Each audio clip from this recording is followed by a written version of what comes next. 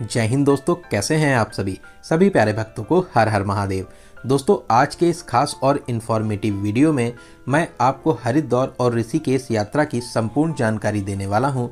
दोस्तों, आज के इस वीडियो में मैं हरिद्वार और ऋषिकेश को एक साथ कवर करूँगा, क्योंकि मैक्सिमम लोग हरिद्वार के साथ साथ ऋषिकेश को भी कवर करते हैं। तो अगर आप भी हरिद्वार और ऋषिकेश दर्शन की प्लानिंग कर रहे हैं तो ये वीडियो आपकी बहुत हेल्प करेगा। इस वीडियो में जानेंगे आप यहाँ तक कैसे पहुँचेंगे, यहाँ पर रुकने के लिए होटल या धर्मशाला कहाँ पर लेना चाहिए, दर्शन और घूमने का सही तरीका क्या रहता है, आप यहाँ पर कहाँ कहाँ घूम सकते हैं, इस पूरी यात्रा को कवर करने के लिए आपको कितने दिनों का प्लान करना चाहिए और वीडियो के लास्ट में बात करेंगे बजट की।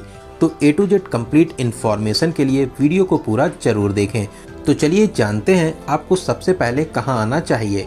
दोस्तों, मैं आपको एडवाइस करूँगा, आप अपनी यात्रा को हरिद्वार से शुरू करें, यहाँ पर दर्शन और घूमने के बाद में फिर आप ऋषिकेश के लिए जा सकते हैं। यहाँ तक आने का जो सबसे अच्छा और सस्ता तरीका रहता है, वो रहता है ट्रेन का। हर प्रमुख स्टेशन से आपको यहाँ तक डायरेक्ट ट्रेन मिल जाएगी। वहीं आप बस से भी यहाँ तक आ सकते हैं। बस की कनेक्टिविटी भी बहुत अच्छी है। आसपास के राज्यों और शहरों से आपको डायरेक्ट बस यहाँ तक के लिए मिल जाएगी।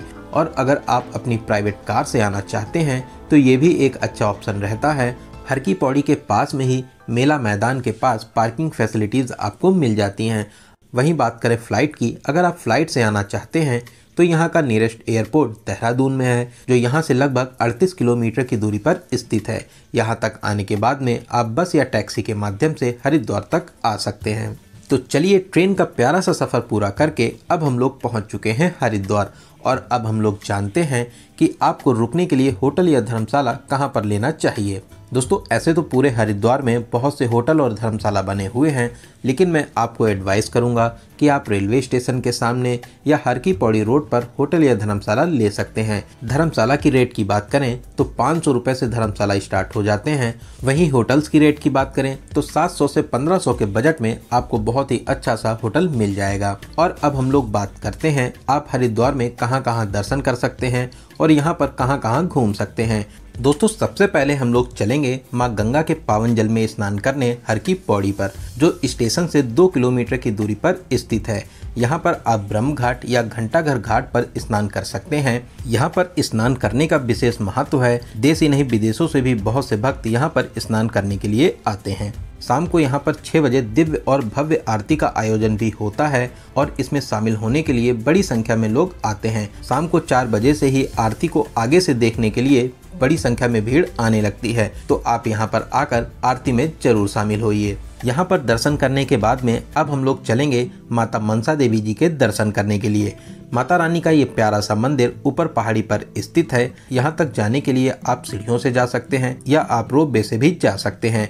हर की पौड़ी से 200 मीटर की दूरी पर ही पैदल मार्ग बना हुआ है। अगर आप सीढ़ियाँ चढ़ सकते हैं तो आप सीढ़ियों से चले जाइए। पैदल मार्ग से कुछ ही दूरी पर रोप वे मार्ग भी बना हुआ है। रोप वे में नॉर्मल टिकट जो मनसा देवी जी के लिए लगता है, वो है एक सौ का। वही मनसा देवी और चंदी देवी दोनों जगह जाने के लिए आपको तीन सौ का टिकट लेना रहता है। बहुत ही प्यारा सा सफ़र पूरा करके आप मंदिर के पास में पहुँचेंगे। यहाँ पर माता रानी के प्यारे से दर्शन कर माता रानी का आशीर्वाद प्राप्त कर सकते हैं। यहाँ पर दर्शन करने के बाद में फिर आप चंडी देवी माता के दर्शन ज़रूर करें। इस अलौकिक स्थान पर दर्शन करने से आपकी बहुत सी मनोकामनाएँ पूरी होती हैं। दोस्तों, मनसा देवी और माता चंडी देवी के दर्शन करने में लगभग चार से पाँच घंटे का समय लग जाता है। तो चलिए अब हम लोग उन प्लेसेस की बात करते हैं जो यहाँ से कुछ दूरी पर स्थित हैं। इन प्लेसेस के लिए आप ऑटो या ई रिक्शे का यूज़ कर सकते हैं। ऑटो और ई रिक्शा वाले आपसे 300 से 400 रुपए का चार्ज करते हैं। चार से पाँच घंटे में सभी प्लेसेस घुमाने के बाद में आप जहाँ कहेंगे, वहाँ पर आपको ड्रॉप कर देते हैं। सबसे पहले हम लोग चलेंगे पावन धाम शीश महल यहाँ पर छोटे छोटे टुकड़ों से पूरे मंदिर को बहुत ही खूबसूरती से बनाया और सजाया गया है। दोस्तों, ये बहुत ही अद्भुत स्थान है। आप यहाँ पर ज़रूर आइए। यहाँ पर दर्शन करके आपको बहुत ही ज़्यादा अच्छा लगेगा। यहाँ पर दर्शन करने के बाद में अब हम लोग चलेंगे शांति गुंज दोस्तों, ये आश्रम बहुत ही विशाल और भव्य बना हुआ है। ये प्यारा सा आश्रम गायत्री माता को समर्पित है। यहाँ पर आप निःशुल्क में लंगर में शामिल हो सकते हैं। साथ ही साथ, अगर आप यहाँ पर रुकना चाहते हैं तो आप फ्री ऑफ़ कॉस्ट में यहाँ पर रुक भी सकते हैं। दोस्तों, यहाँ पर हिमालय भवन भी बना हुआ है। जहाँ पर हिमालय का बहुत ही प्यारा सा चित्रण किया गया है। आप यहाँ पर ज़रूर आइए। यहाँ पर आपको बहुत ही ज़्यादा शांति और सुकून मिलेगा। यहाँ पर घूमने के बाद में अब हम लोग चलेंगे आगे। हम लोगों का अगला स्थान है माता वैष्णो देवी मंदिर। यहाँ पर गुफा के स्वरूप में माता रानी का बहुत ही प्यारा सा मंदिर बना हुआ है। साथ ही साथ और भी बहुत से देवी देवताओं के यहाँ पर मंदिर बने हुए हैं। यहाँ से 100 मीटर की दूरी पर भारत माता मंदिर भी बना हुआ है। ये सात मंजिला मंदिर हरिद्वार के प्रमुख मंदिरों में माना जाता है। यहाँ पर लिफ्ट के माध्यम से आप सबसे पहले सातवें मंजिल पर आ जाएँगे, फिर हर तल में दर्शन करने के बाद में बारी बारी से आप नीचे आ जाएँगे। सबसे नीचे भारत माता की विशाल प्रतिमा स्थापित है, आप यहाँ पर दर्शन ज़रूर करें। पास में ही श्री राम मंदिर भी बना हुआ है, आप यहाँ पर भी जाकर दर्शन कर सकते हैं। दोस्तों, इन मंदिरों के अलावा आप कनखल साइड वाले मंदिर को भी कवर कर सकते हैं। कनखल साइड में भी बहुत ही प्रसिद्ध और फ़ेमस मंदिर बने हुए हैं। दोस्तों, आपको हरिद्वार में कम से कम एक नाइट का स्टे ज़रूर करना चाहिए, जिससे आप आराम से हरिद्वार के सभी प्रमुख स्थानों को कवर कर सकें। फिर अगले दिन और भी जितने प्लेसेस बचे हैं, उन सभी को कवर करेंगे। फिर दोपहर के बाद में अब हम लोग चलेंगे ऋषिकेश। दोस्तों, ऋषिकेश हरिद्वार से लगभग 28 किलोमीटर की दूरी पर स्थित है। यहाँ तक जाने के बहुत से तरीके हैं। आप बस, टैक्सी, ऑटो, टेंपो या ट्रेन के माध्यम से भी पहुँच सकते हैं। यहाँ तक पहुँचने के लिए 30 से 60 रुपए का किराया लगता है वहीं दोस्तों, अगर आप पहले ऋषिकेश आना चाहते हैं तो आप आराम से पहले ऋषिकेश भी आ सकते हैं। ऋषिकेश में बहुत ही वेल कनेक्टेड बस स्टैंड बना हुआ है दिल्ली, हरियाणा, पंजाब और आसपास के राज्यों और शहरों से ऋषिकेश तक के लिए आपको सभी प्रकार की बसेस मिल जाती हैं। वहीं आप अगर ट्रेन से आना चाहते हैं तो यहाँ पर बहुत ही प्यारा सा योग नगरी ऋषिकेश रेलवे स्टेशन भी बना हुआ है तो आप आराम से ट्रेन के माध्यम से भी यहाँ तक आ सकते हैं। लेकिन दोस्तों, मैं आपको एडवाइस करूँगा कि पहले आप हरिद्वार को कवर करें, फिर उसके बाद में आप ऋषिकेश को घूमने जा सकते हैं। तो चलिए अब हम लोग पहुँच चुके हैं ऋषिकेश और अब हम लोग बात करते हैं कि आपको कहाँ रुकना चाहिए। दोस्तों, ऐसे तो पूरे ऋषिकेश में होटल और धर्मशाला बने हुए हैं। मैं आपको एडवाइस करूँगा, आप बस स्टैंड के आसपास होटल या धर्मशाला ले सकते हैं।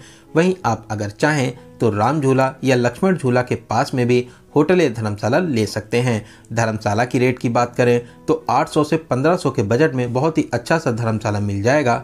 वहीं होटल की रेट की बात करें 1000 से 2000 के बजट में बहुत ही अच्छा सा होटल भी ले सकते हैं। वहीं आप अगर यहाँ पर फ्री में रुकना चाहते हैं तो आगे वीडियो में मैं आपको फ्री में रुकने का भी तरीका बताऊँगा। शाम को सबसे पहले हम लोग चलेंगे राम झूला राम झूला ऋषिकेश का सबसे प्रमुख स्थान है। ये प्यारा सा पुल माँ गंगा को एक किनारे से दूसरे किनारे पर जोड़ता है। जब आप बीचों बीच में पहुँचेंगे तो आपको लगेगा कि आप किसी झूले पर खड़े हुए हैं। बीचों बीच पहुँचने पर यह झूला बहुत ही ज़्यादा तेज़ी से हिलता है। तो अब हम लोग राम झूला पार करके आ चुके हैं दूसरे किनारे पर और अब हम लोग चलेंगे परमार्थ निकेतन। यहाँ पर गंगा नदी के बीचों बीच में शिव जी की विशाल प्रतिमा स्थापित है, जो ऋषिकेश का एक प्रमुख आकर्षण का केंद्र भी रहता है। शाम को छः से सात के बीच में यहाँ पर भव्य आरती का आयोजन भी होता है।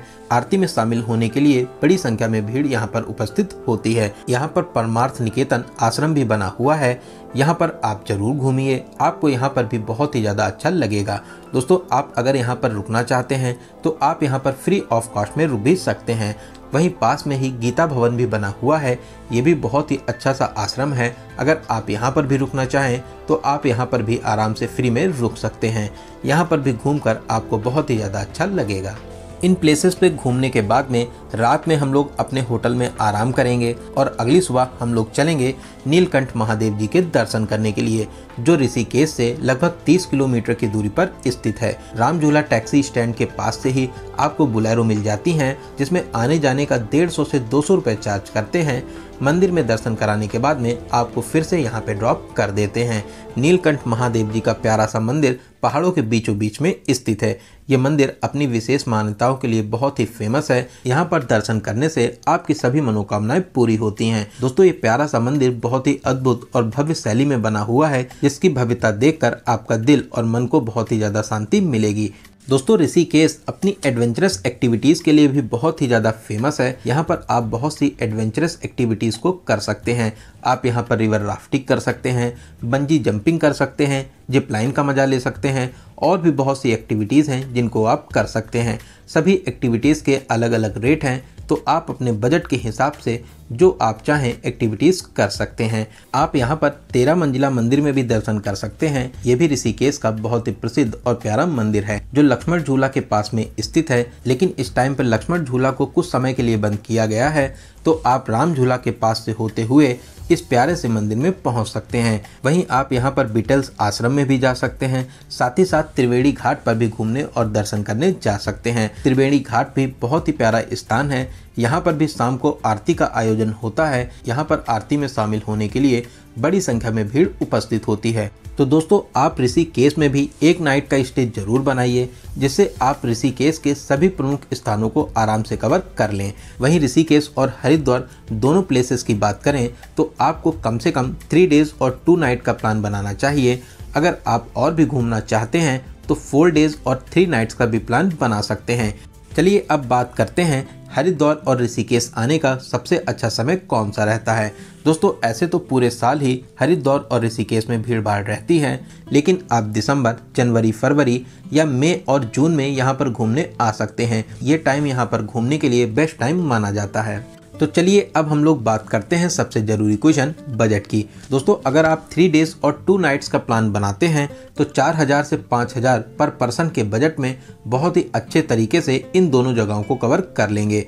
वहीं दोस्तों, अगर आपके बजट की कोई भी प्रॉब्लम नहीं है तो आप यहाँ पर बहुत ही वीआईपी होटल्स ले सकते हैं। साथ ही साथ आप टैक्सी बुक करके भी इन सभी प्लेसेस को कवर कर सकते हैं। तो दोस्तों, यहाँ पर मैंने आपको हरिद्वार और ऋषिकेश यात्रा से रिलेटेड हर एक छोटी बड़ी जानकारी को बहुत ही अच्छे और सही तरीके से बताने की पूरी कोशिश की है।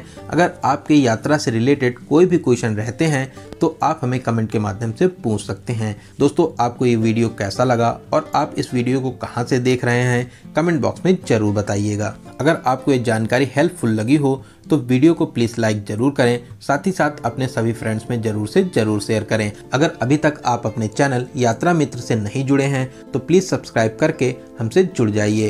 साथ ही साथ बेल आइकन प्रेस करने के बाद में ऑल नोटिफिकेशन को ज़रूर क्लिक करें जिससे भविष्य में आने वाले वीडियो आपको आसानी से मिल सकें। तो चलिए दोस्तों, अब मिलते हैं किसी ऐसे ही इन्फॉर्मेटिव वीडियो में। तब तक आप अपना और अपने परिवार का बहुत ज़्यादा ख्याल रखें। आपकी यात्रा सफल, सुगम और मंगलमय हो। जय हिंद, जय भारत।